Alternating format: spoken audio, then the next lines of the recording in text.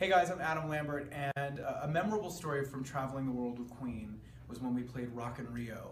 Um, we arrived in Rio and we stayed at, uh, and I can't remember the name of the hotel, of course, but it was right on the water, the Copacabana Palace, that's what it is. And it's a famous old hotel that they stayed in when they first came to Rio, so it had a lot of nostalgia for them. And we were, I was on the roof of this hotel because they have a pool up there, and I looked over the edge and there was just tons of fans on the other side of the street lined up chanting, singing. That was like the first time I had experienced that before. And that night when we had our show at the festival, we had to take a helicopter because it was it wasn't so far away that where the stage was, but because it was such a packed event, it would have taken us like five hours in traffic to get there. And um, we played to I think it was like 300,000 people that night. I mean, it, there were so many people there. It was crazy, and they were all singing along.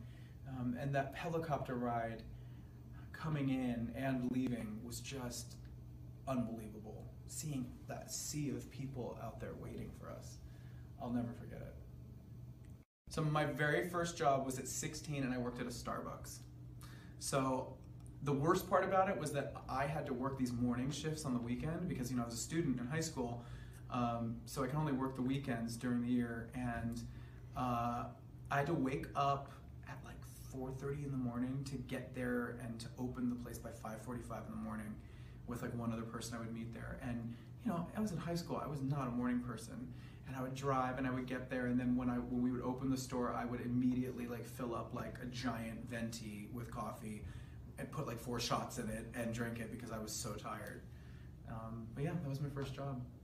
And something that some people will probably know who have worked at Starbucks is that when you're working at the bar where the like where you're doing the espresso shots and everything and they have the milk and you're steaming milk, you know, it's it's a messy area and especially when you have the morning rush and you're hurrying and coffee grounds fall on the ground and the milk falls on the ground underneath like, you know, like one of those mats for, to keep you from slipping.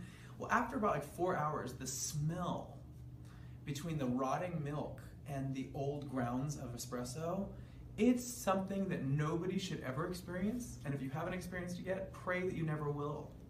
Because it's a pretty terrible smell. and it would just stick to your shoes, and it would be on your pants, and it would be on your clothes. That's a, that's a thankless job. That's like a survival job. It's hardcore with benefits. So I have a very distinct memory of, of an early song.